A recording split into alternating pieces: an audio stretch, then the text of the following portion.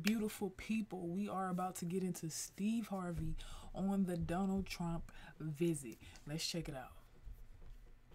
Steve Harvey, one of my favorite comedians. President Obama's transition team. I was getting off a plane one day. Assistant called and said, Steve, it's President Obama's transition team. President Obama and I were friends.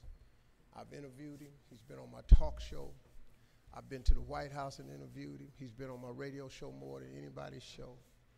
I go to their parties. We friends. So his transition team called me uh, around the 9th of January and said, Steve, the president feels like it's important that we sit down and have a conversation with this new administration to see if there's something we can work out. Not President Obama, just his transition team from White House. I said, okay, cool. Next thing I know, the Trump administration transition team gets in touch with the Obama transition team. My name come up. So on Jeff, January 13th, they asked me to come to Trump Towers to meet with Donald Trump. Now, the hell I caught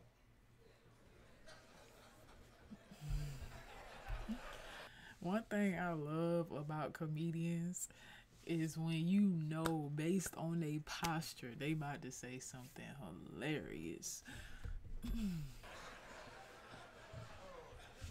the sheer misery for making that decision. I've been so many coons, Uncle Tom, sellouts. I, I was stunned. I mean, the brutality of what happened to me on social media behind visiting that man in Trump Towers, it was alarming. But I'm sitting up in here and I'm trying to figure out because you don't know. So since you don't know, here come the hate. Uncle Tom, sellout, Coon, Steve Harvey, shoe shiner, celebrity friends I thought I was really cool with. Mm-hmm. Coming out talking mm-hmm. about he ought to know better. Who, what the hell wrong with him? Whoa, whoa, whoa, whoa, whoa, whoa, whoa. If President Obama, the current president, and the incoming president say they want to talk to you, which one of you ain't going up there? comment below right now if you were invited if you was in his position not if you were him if you were yourself in his position and you were invited would you go and what would you say let me know below just raise your hand if you wouldn't go so i can see how stupid you are now just go ahead. I just want, just want to see. This is what I be really wanting to say. See, I can't say none of this in front of another group, but since it's us in here, oh, I've been wanting to say this since January 13th. You better believe this right here. I've been waiting on the right crowd. Well, I'm in front of a bunch of friends right now. So see, I can say this because I'm around a bunch of friends. You understand? Friendship is essential to the soul. You can live without your father. You can live without a relative. You can make it without your mama. You can't live in this world without a friend. Friendship is essential to the soul. Oh, Ophilima filii sucus. That's friendship is essential to the soul.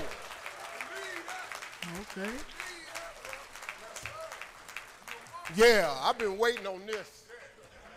I'm glad Ricky Lewis asked me to come.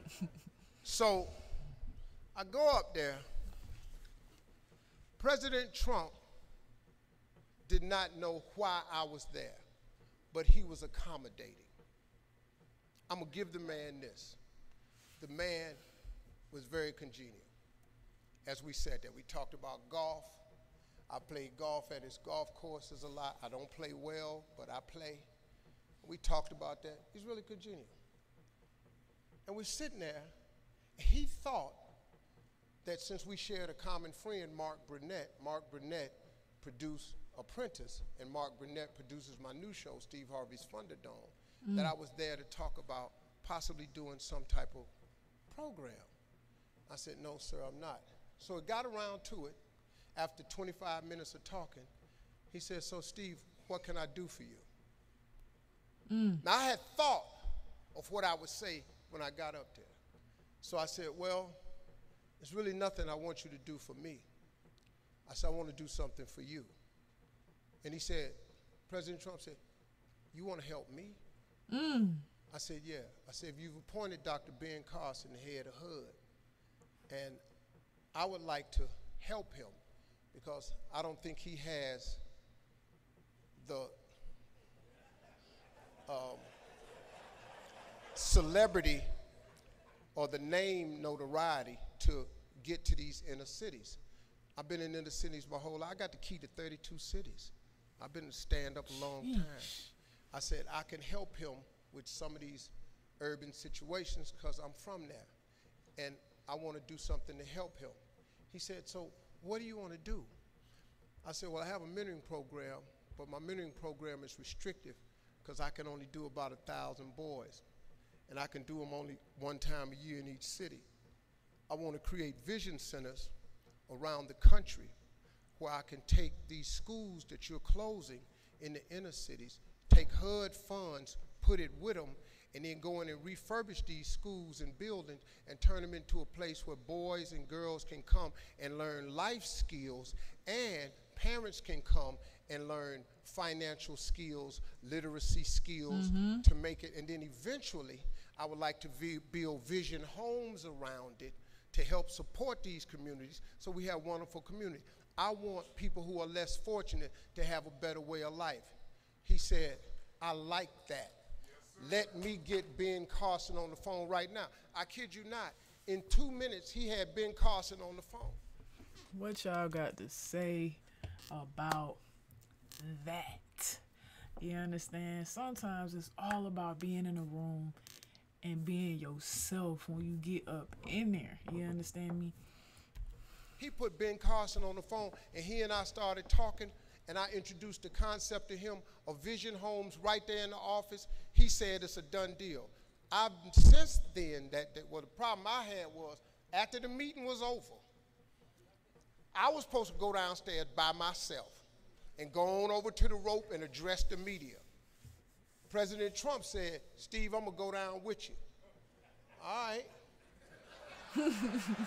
we get off the elevator, we walk up to the rope, all the cameras is on, and first thing he said, what we're gonna do first thing in this office is replace and repeal Obamacare. I'm standing there, I went, Set up. Look at the tape. Go back and look at the tape and look at Steve's face. Because I'm going, there ain't shit we said upstairs. I'm sorry. I'm sorry. I'm sorry. I'm sorry.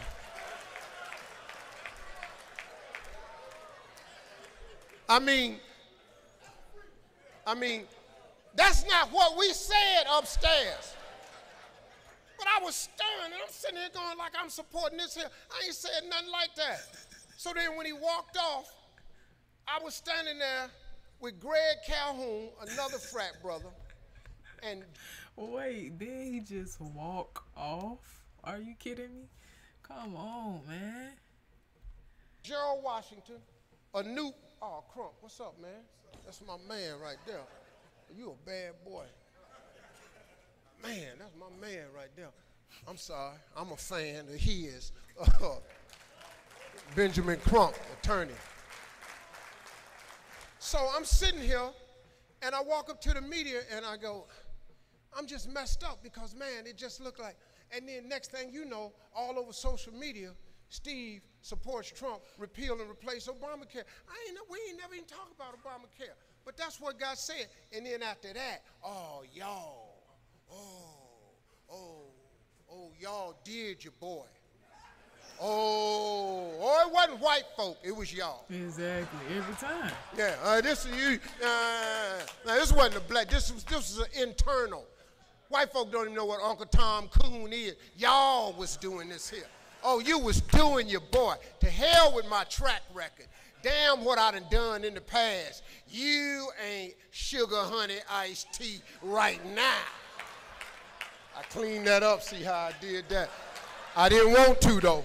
I wanted to go ahead and fire another one off, but I figured I had got too many in. You ain't sugar honey iced tea no more. Ooh, I don't like saying that. You gotta love Steve Harvey, man. Black people took to social media, and boy, Black Twitter. all my family had to close their accounts down because y'all was just lacing me. Not y'all per se. Most of y'all don't even, none of, hardly any of you blog, but I'm just talking about us. And just went because I don't know why we love destroying each other. I don't know why we take such pleasure in when he he gone. You know, I was talking to Kevin Hart the other day when he went through that whole thing about the girl. Kevin Hart said, "Man, it's amazing how they cheer for you on the way up mm-hmm. because they love a success story. But then once you get there, their whole mission is to bring you down." And they was just on that social media just lacing me, man. Like I don't do nothing for black folk. Like I just ain't been black this whole time. the hell you gonna call me a Uncle Tom, a coon, and a sellout? I'm 60 years old. You know what I done seen? I seen what everybody in this room that's 60 done seen. I done felt what everybody in this room done felt. How they gonna call you Uncle Tom and a coon because you're at the top of the corporate ladder? Now some black person ain't got nothing want to sit up and call you Uncle Tom and a coon because you done betted yourself. Ain't that about la-di-da? You be wanting to go, man, I wish, you know, man, you be wanting to say something. But you know what though? You can't say nothing. Because my grandmama taught me something long time ago. If you hang a sheet out on the line and you get some doo-doo on it, don't wipe it because you ain't going to do nothing but smear it. Mm-hmm. She say just wait till it dry. It'll fall right off. Mm. Mm. So I'm Trying to tell you, I caught chills. I caught chill. Like I'll be looking at the camera up here, and that ain't even on. I caught chills when he said that. This right here, um, is just the epitome of transitions of you know coming out of one ladder or, or coming out of one realm going into another. Um, like he said, what Kevin Hart said, being at the top and um, all of the stuff you have to deal with uh, when being up there. Um, we've seen it happen multiple times. Uh, T.I., Nick Cannon. Um, yeah, we've seen it happen multiple times, man. Um, but yeah, we definitely got to support each other more. Um, we say it all the time. Does it happen? No. Does other races support each other more than we support each other? Yes. Um, but you know, we can only be a light to who we can be a light to. You know what I'm saying? Change one at a time. That's the best that uh, we could do, or that's the that's the place where we could start with the right information, though. With the right information, a lot of us be misled. You know, not necessarily our fault. On the reason that we've been brainwashed, it's a, it's, it's it's our duty to learn the truth. when they kept on trying to, I just shut my mouth. I stayed quiet because I knew I had a purpose. Now, Brother Blue went with me to the first meeting with uh, Dr. Benjamin, I mean, Dr. Uh, Ben Carson at HUD. We have started an initiative. The first one will open in Detroit because that's where Dr. Ben Carson is from. Okay. The vision centers have been okayed by the White House, all because I took a step and went up there and said it. Exactly. I didn't even come up with the vision center concept to the night before. To the night before. I just told God, I asked God, man, just tell me what to say when I get up there. Because what I'm supposed to say, I don't even know what to say. What do I say to Donald Trump? I told him when we were sitting there, I said, look, man, I ain't vote for you. And I say, I put my whole radio show behind trying not to get you elected. Mm-hmm. I said, but there was a mistake got made. I said, we was playing checkers and y'all was playing chess. So mm-hmm. congratulations on your win. Man, if only we uh, we gotta find we gotta find the whole thing to that. I need to hear the rest of it. You feel me? I feel like they cut that off too early. You understand? Um, I am your girl V Coop, down piece in the V Coop to be exact. Make sure you like, comment, share, subscribe, all that good stuff because you are on, here on Coop Troop Live, my brand new channel. You feel me? So let's keep running those subs, keep running those views up, up, up, up, and away. All right. Thank you for joining. See you next time.